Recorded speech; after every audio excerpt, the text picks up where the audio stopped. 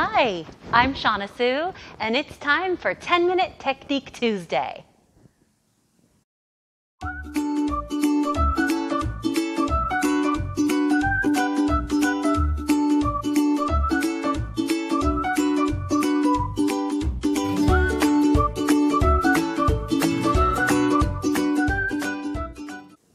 So today on 10 Minute Technique Tuesday, I want to talk about clouds.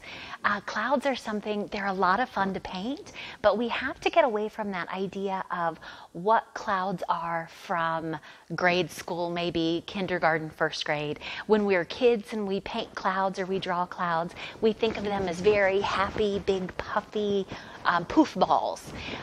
Clouds are that, but when we think about clouds that way, we tend to draw them or paint them that way.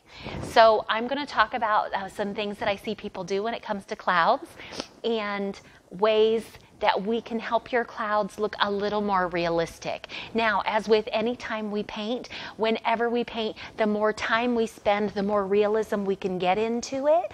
Um, we're not going for that here, but I want to help you up your game just a little bit to get away from that grade school uh, fat, poofy cloud mentality and get it into a little more realistic. So, with clouds, the brush you use is pretty important. I like to use a brush.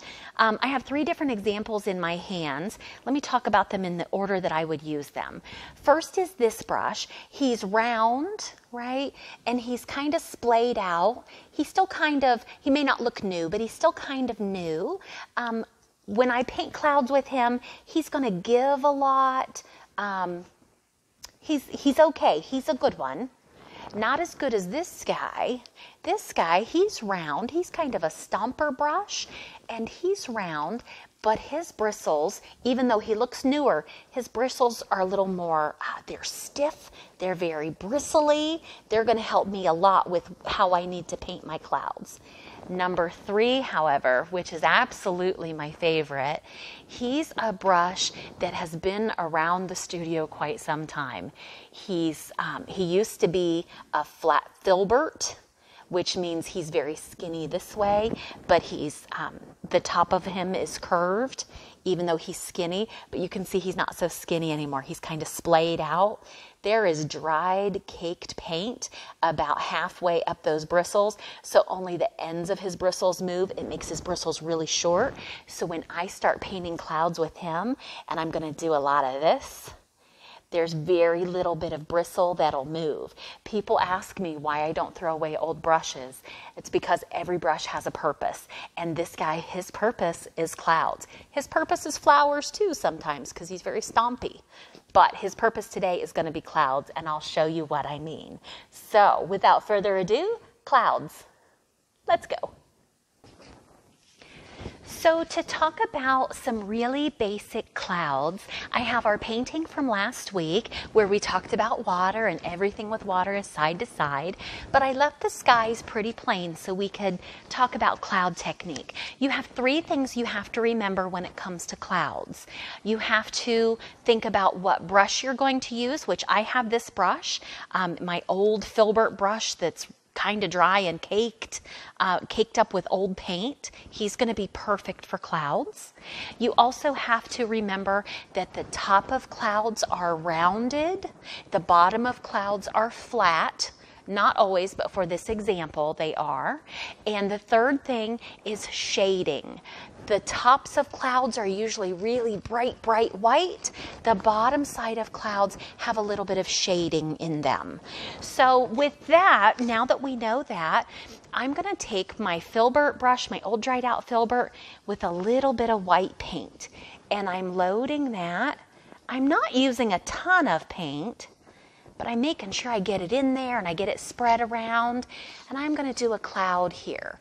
So I'm starting with that bright white paint and I'm kind of scrubbing, tapping. It's kind of a scribbly, scrubbly, getting nice bright white on the very top of that cloud. And this, maybe that's what this cloud looks like. Maybe, oh, maybe he goes back up, oh, back up there, back down and he's kind of flat across the bottom.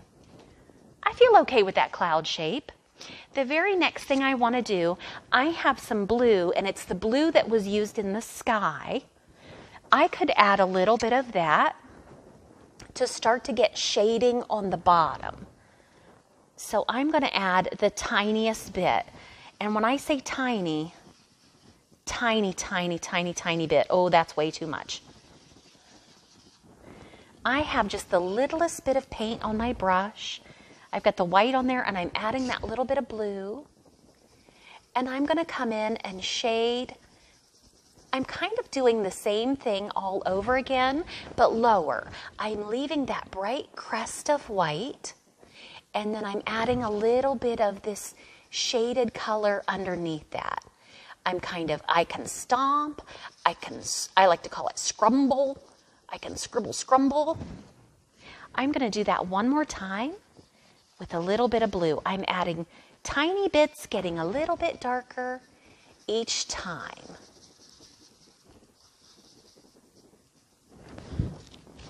That looks pretty good. Now another, I'm going to rinse my brush out.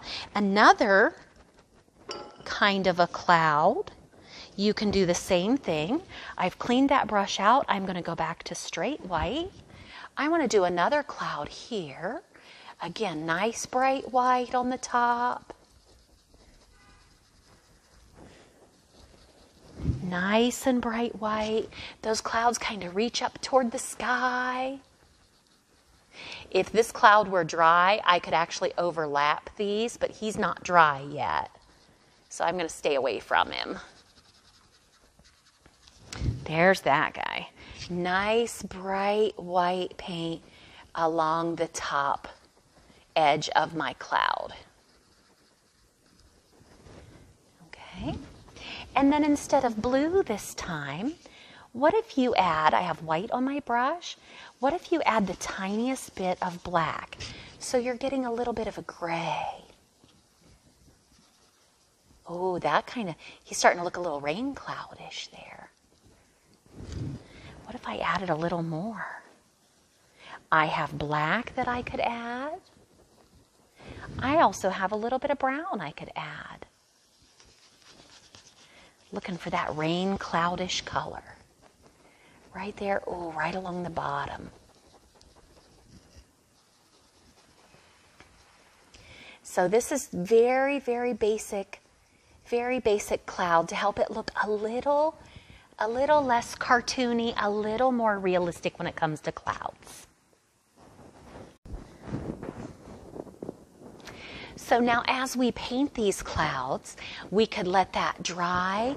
What would that look like once that's dry if I put another cloud kind of here in front?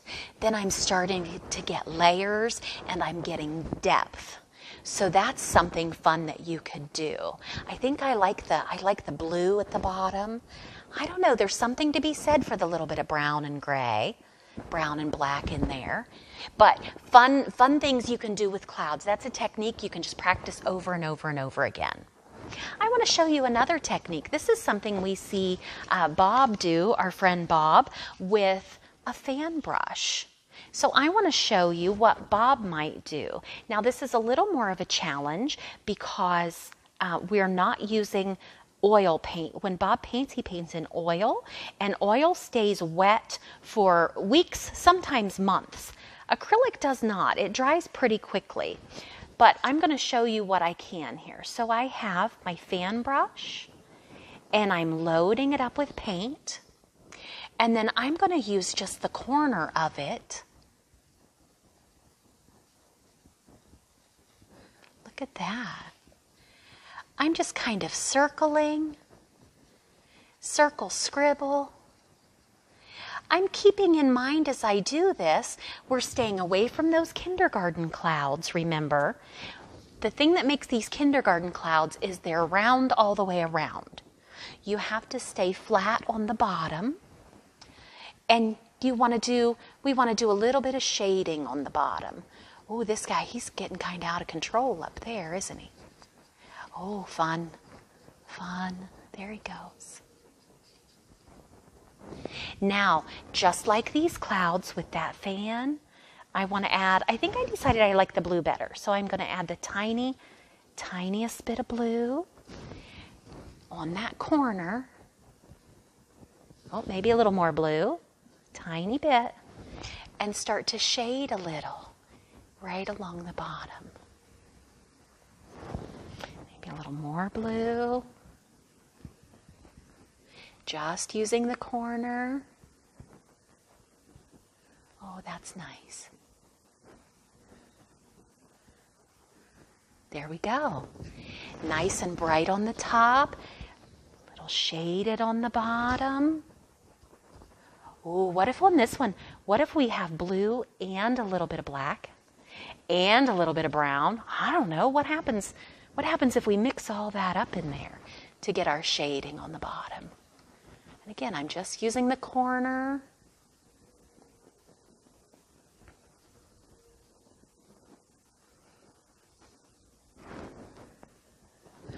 Oh, that's fun. I think I want a little more white. I'm using the other corner of my fan brush that's clean. Oh, get some more white up in there. Oh my goodness, we could play with this all day. Oh, that's fun. But the thing to remember as we play, acrylic paint dries really quickly. When you do clouds, flat on the bottom, rounded on the top, shaded on the bottom, bright white on the top.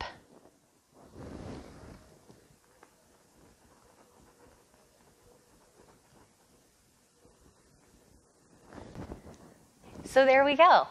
A quick down and dirty. That's what I know about clouds. Now, remember, as you paint clouds, let it dry. Go back, do another layer. Clouds are allowed to touch, they're allowed to overlap, they're constantly moving in the sky, doing fun, different things. So don't be afraid to get away from your painting for a little bit, come back, see if you need another cloud. This one, I feel like I need another cloud here in front. So I might continue to play with that.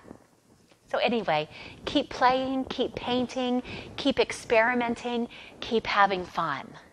All right? And until next week on 10 Minute Technique Tuesday, I'll see you soon. Bye bye.